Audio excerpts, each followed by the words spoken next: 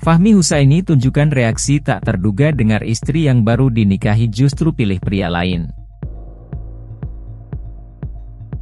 Fahmi sempat menguras tenaga dan waktu mencari istrinya, Anggi Anggraini. Selama tak pulang Anggi Anggraini ternyata rutin menghubungi ibunya di Ranca Bungur Bogor. Ia bertemu pacarnya, Adriaman Lasi yang mengajak Anggi menemui orang tuanya di Medan. Sesampainya di Medan, baik Adiaman Lase maupun Anggi sama-sama tak memiliki uang.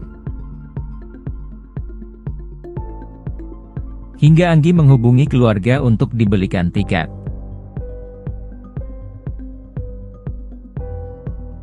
Polisi dan keluarga datangi Adriaman Lase untuk dijemput ke Bogor bersama Anggi. Kepada polisi, Adiaman Lase membuat pengakuan. Memang itu kekasih saya pak. Di depan ada Fahmi juga di polsek, kata Ibtu Hartanto. Mendengar pengakuan Adriaman, Fahmi sebagai suami sah Anggi langsung berbisik ke polisi.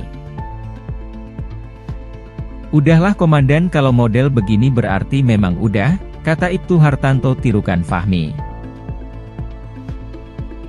Tak hanya Adiaman Lase, Anggi pun menyatakan tak ingin melanjutkan hubungannya dengan Fahmi.